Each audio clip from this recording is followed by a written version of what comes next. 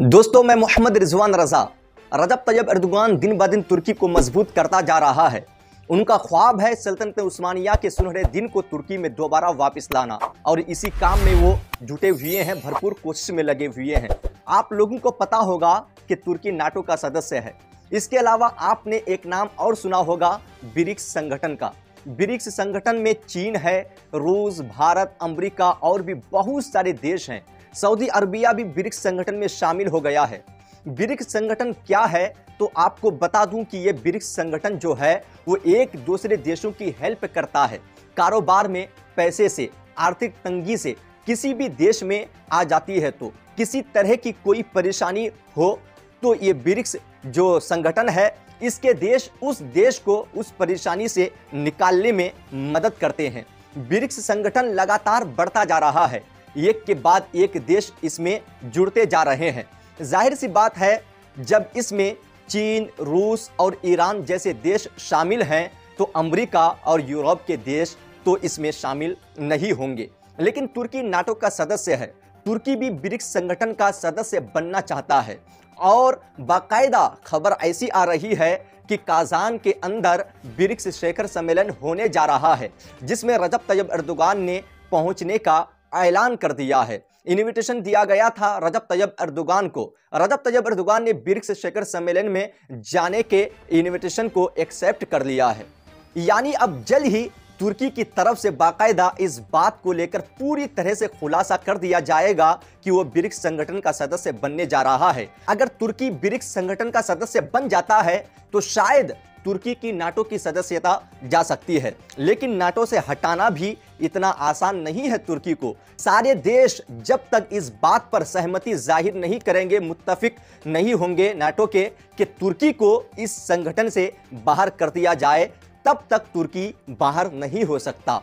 जोड़ने के लिए भी नाटो में किसी भी देश को सारे देशों की रजामंदी होनी चाहिए। संगठन से बाहर निकालने के लिए भी सारे देशों की, जो नाटो के देश हैं उन सब की रजामंदी होना चाहिए।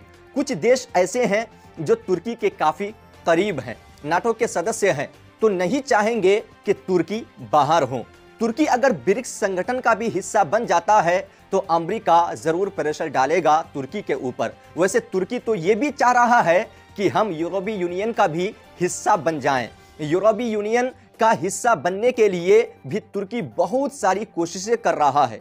तो तुर्की अपने फ़ायदे के लिए हर जगह घुसना चाहता है। नाटो में भी घुसा हुआ है, ब्रिक्स में भी घुसेगा और उधर यूरोपीय यूनियन में भी घुसने का प्लान तुर्की बना रहा है। और इस तरह रजब तैयब अर्दुगान तुर्की को हर तरह से मज़बूत बनाने की कोशिश कर रहा है और फिर से खिलाफत उस्मानिया के सुनहरे दौर को लाने का ख्वाब देख रहे हैं। फ़िलहाल इसके बारे में क्या कहना है कमेंट सेक्शन में ज़रूर बताइएगा। चलते हैं अगली खबर की तरफ़। हज़रत मोहतरम, उधर हमास ने तुर्की विदेश मंत्रालय से बात की है। हमास ने तुर्की विदेश मंत्रालय से कहा है कि देखिए इसराइल जो है, वो बहुत सारी नई शर्तें जोड़कर समझौता करने का दाव लगा रहा है।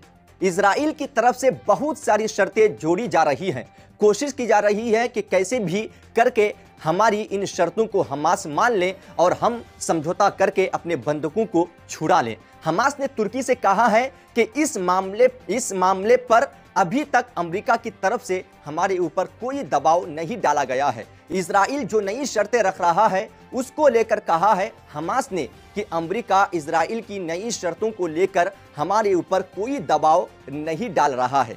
अमेरिका की तरफ़ से हमें जो मैसेज प्राप्त हुआ है, उसमें अमेरिका ने कहा है कि हम एक दो हफ़्ते में लगातार कोशिश करेंगे कि किसी समझौते पर आप दोनों पहुंचें और किसी तरह का कोई समझौता नहीं होता है तो फिर अमेरिका इस समझौते से पीछे हट जाएगा। ये जानकारी हमास ने तुर्की विदेश मंत्रालय को दी है कि अमेरिका ने ऐसी ऐसी बात कही है। दोस्तों, आपको क्या लगता है, क्या वाकई में अमेरिका इतनी कोशिश कर रहा है? अमेरिका को इतनी फ़िक्र है समझौता करवाने की, वैसे मुझे तो नहीं लगता है मैं खुद की बताऊँ तो ये सिर्फ़ और सिर्फ़ एक दिखावा है।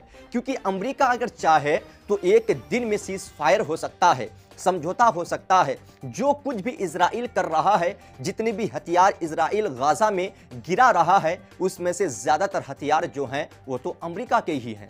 या फिर अमेरिका के कहने पर ही दूसरे देश इसराइल को हथियार पहुँचा रहे हैं। तो अमेरिका की बात क्यों नहीं मानेगा नेतन्याहू? ये सिर्फ़ और सिर्फ़ दुनिया को बेवकूफ़ बनाया जा रहा है और कुछ नहीं, दुनिया को धोखे में रखा जा रहा है। इसके बारे में आप क्या क्या कहना है? फ़िलहाल इस रिपोर्ट में इतना ही।